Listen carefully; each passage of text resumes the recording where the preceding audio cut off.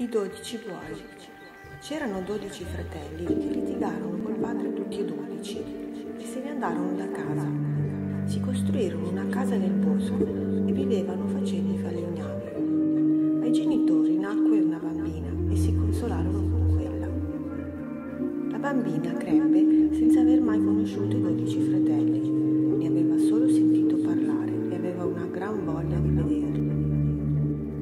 Una volta andò a lavarsi a una fonte e prima si tolse la collana di corallo e la posò su un ramo. Passò un corvo, prese la collana e volò via. La ragazza si mise a inseguire il corvo nel bosco e trovò la casa dei fratelli. In casa non c'era nessuno e la sorella fece cuocere i taglierini, li preparò nei piatti e poi andò a nascondersi sotto un letto. Tornarono i fratelli trovarono i taglierini già cotti e apparecchiati e li mangiarono. Ma poi cominciarono ad aver paura che fosse uno scherzo delle streghe, perché il bosco di streghe ne era pieno. Uno dei dodici, l'indomani, stette di guardia e vide la ragazza saltar fuori da sotto un letto. Quando seppero che non era una strega, ma la loro sorellina, che non avevano mai conosciuta ancora, le fecero molte feste e vollero che restasse con loro.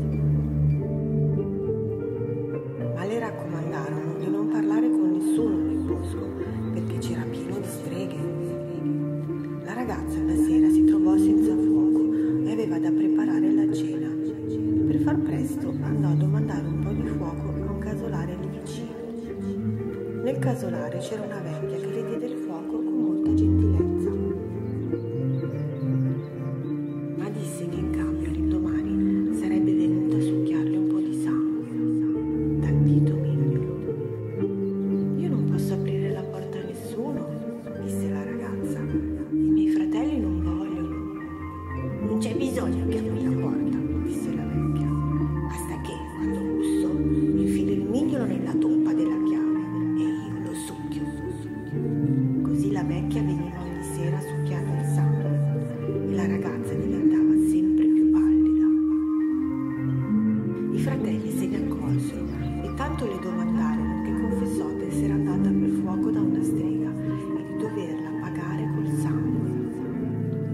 Lascia fare noi, dissero i fratelli. Venne la strega, bussò e siccome la ragazza non le filava il dito nella toppa, infilò lei la testa nella gattaiola.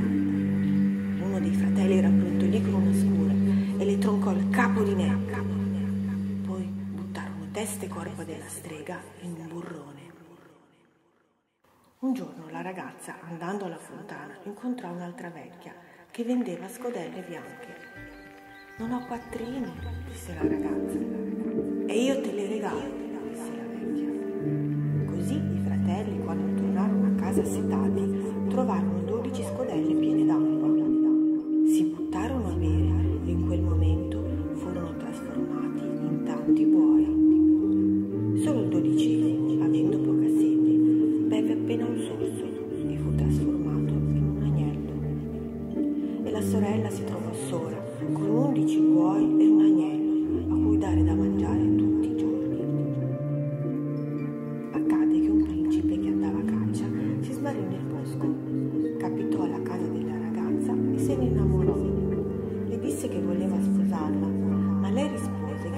Pensare ai suoi fratelli buoi e non poteva lasciarli.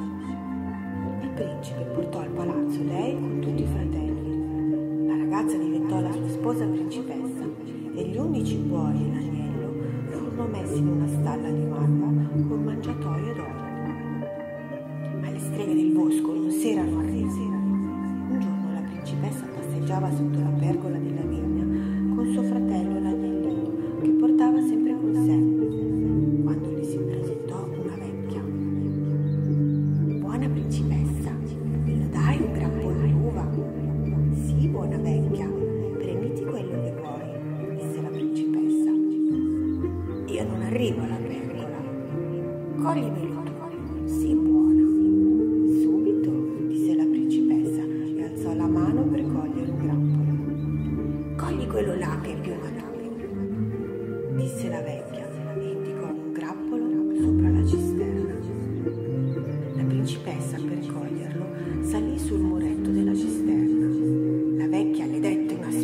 e la principessa cadde giù. L'agnello cominciò a belare, a belare intorno alla cisterna, ma nessuno capiva cosa avesse da belare e nessuno sentiva i lamenti della principessa di laggiù in fondo. Intanto la strega aveva preso la forma della principessa e si era messa a letto. Il principe, tornando a casa, le disse: Cos'hai che sei a letto? Sto male,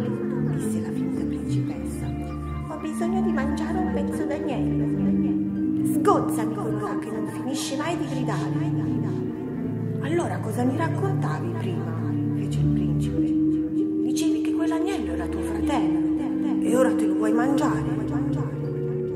La strega aveva fatto il marrone, restò lì senza sapere cosa dire. Il principe cominciò a capire che c'era qualcosa di strano.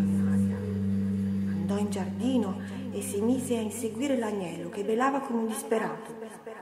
L'agnello andò vicino alla cisterna e il principe sentì la voce della moglie che chiamava.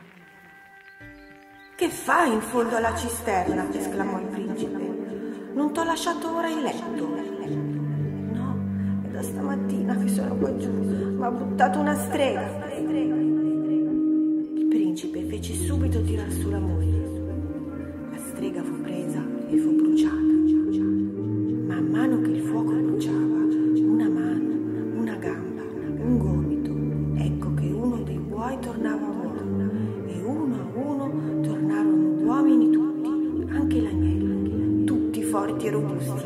Pareva una compagnia di giganti avesse invaso il castello.